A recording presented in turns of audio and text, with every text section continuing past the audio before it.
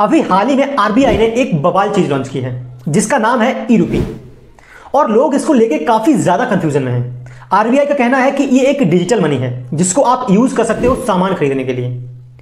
But लोगों का कहना है कि हम ऑलरेडी एक ऐसा सिस्टम यूज़ कर रहे हैं सामान खरीदने के लिए, जिसको हम यूपीआई बोलते हैं। मतलब क्यूआर कोड स्कैन किया पेमेंट कर दिया मतलब गूगल पे फ़ोन पे वगैरह। तो फिर इस बवाल चीज़ को लाने की क्या ज़रूरत थी? इस ई रुपये को लाने की क्या आवश्यकता पड़ी? एक्चुअल में ज़रूरत है या नहीं, अभी आपको पता लग ही जाएगा। यार, हम किस लिए बैठे यहाँ पे? बताने के लिए। जस्ट डोंट वरी सो मेरा नाम है रघु और प्लीज़ वीडियो स्टार्ट करने से पहले आपसे एक निवेदन है। अगर वीडियो पसंद आए तो प्लीज़ वीडियो को लाइक कर देना और चैनल को सब्सक्राइब कर लेना। आई होप वीडियो पसंद आएगी। तो इन सबको रखें साइड में और मुद्दे की बात पे आते हैं। तो बात कुछ ऐसी है कि ये ई रुपी और यूपीआई पेमेंट ये दोनों ही अलग चीज़ें हैं। अब मुझे पता है, आप लोगों को कंफ्यूजन भी सबसे ज़्यादा यही है कि जब दोनों का काम सेम है तो फिर अलग कैसे हुई? और जब काम चल रहा था यूपीआई से तो फिर इस बवाल चीज़ को लॉन्च करने की क्या ज़रूरत पड़ी? अब सुनो यूपीआई या नेट बैंकिंग में बेसिकली होता क्या है कि अगर आपने कोई सामान लिया और आपने अपना फ़ोन निकाला क्यूआर कोड स्कैन किया और पेमेंट कर दिया दैट्स इट आपका काम खत्म। लेकिन आपको अंदाज़ा है कि इस पूरी प्रोसेस में कितने लोग इन्वॉल्व हुए? ये कितनी लंबी प्रोसेस है। लेट सपोज़ अगर मैंने कोई सामान खरीदा, ठीक है? अब मैं यूपीआई पेमेंट कर रहा हूँ। अपना फ़ोन निकाला।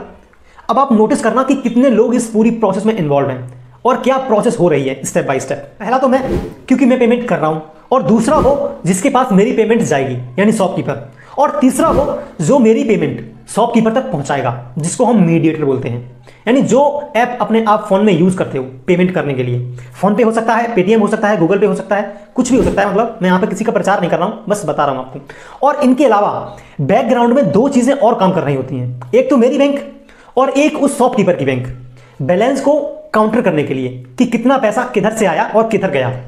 क्योंकि उनको, आपके अकाउंट को अपडेट भी तो रखना है कि कितना पैसा कम हुआ आपके अकाउंट में, कितना पैसा ज़्यादा हुआ।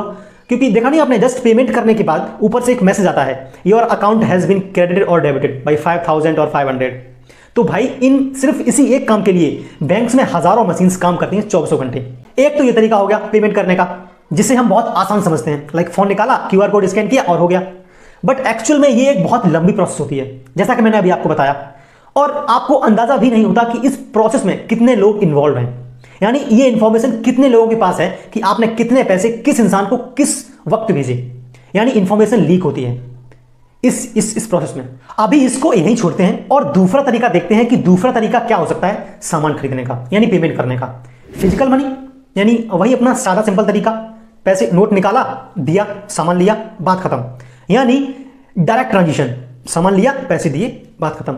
नो बैंक नो आरबीआई कुछ नहीं, किसी को भी कुछ नहीं पता। थर्ड पार्टी ऐप घंटा भाग में जाए। मतलब direct transaction clear cut payment पैसे निकाले, सामान लिया, रुपए दिया। किसी को भी कुछ नहीं पता कि आपने कितने पैसे किस वक्त किस इंसान को दिए। कोई रिकॉर्ड नहीं, कोई कुछ नहीं। लेकिन आरबीआई ने यहीं पे दिमाग लगाया और इस ई रुपी को लॉन्च कर दिया। यानी डिजिटल करेंसी अब ये डिजिटल करेंसी क्या है? पहले इसको समझ लेते हैं। एक्चुअली डिजिटल करेंसी एक तरीके का पैसा ही है जो हमारे जेब में रखा है। बस वो डिजिटल फॉर्म में है, यानी हवा में है। यानी एक e rupee is equal to एक इक्वल इक्वलेंट है मतलब एक ई रुपी इक्वलेंस है हमारे एक रुपए की जो हमारे जेब में रखा है। लेकिन आरबीआई ने इसको बनाया क्यों? इसके पीछे का क्या रीजन है? इसको समझो। देखो आरबीआई नोट प्रिंट करती है। यानी फ़िज़िकल करेंसी जिसको हम यूज़ करते हैं, इसको प्रिंट करने में काफ़ी खर्चा होता है। बड़ी बड़ी मशीन्स लगती हैं लेबर लगती है, और वो नोट वाला कागज़ काफ़ी कॉस्टली होता है। इन सारे खर्चों से बचने के लिए अब आरबीआई ने नोट के बदले ई रुपी को इशू किया है।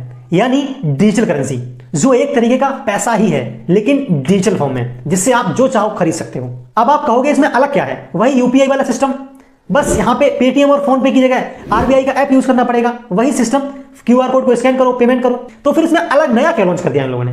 एक्चुअल में अलग है, थोड़ा। वो ये कि जब आप यूपीआई से पेमेंट करते हो तो मैंने जैसे आपको बताया कि कितनी पार्टीज़ इन्वॉल्व होती हैं, सिर्फ़ एक ट्रांजेक्शन में। और इन सबके पास आपकी पूरी पूरी जानकारी रहती है कि आपने कब, किसको कितने पैसे भेजे विच इज़ अननेसेसरी तो आरबीआई ने, एक दिमाग लगाया और एक आइडिया निकाला। इन सबको साइड करते हुए आप डायरेक्ट ट्रांजेक्शन कर सकते हो आरबीआई के वॉलेट के थ्रू आरबीआई का ये ई रूपी लॉन्च करने का बस यही एक मकसद है। यानी डिजिटल करेंसी आपके फ़ोन में एक आरबीआई का ऐप रहेगा।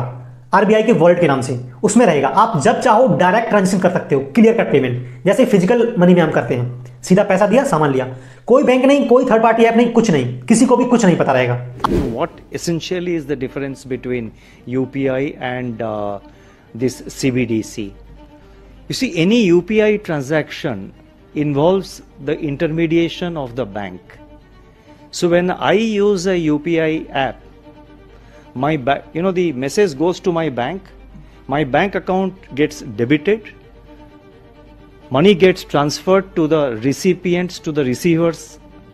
Bank his account gets credited and he gets a message in his mobile phone. So there is a there is an intermediation of the bank in that process. In cbdc just as paper currency you go to a bank let us say you are drawing some 1000 rupees currency notes. You draw 1000 rupees keep it in your purse you go to a shop you have to pay 500 rupees you take out 500 rupees and pay.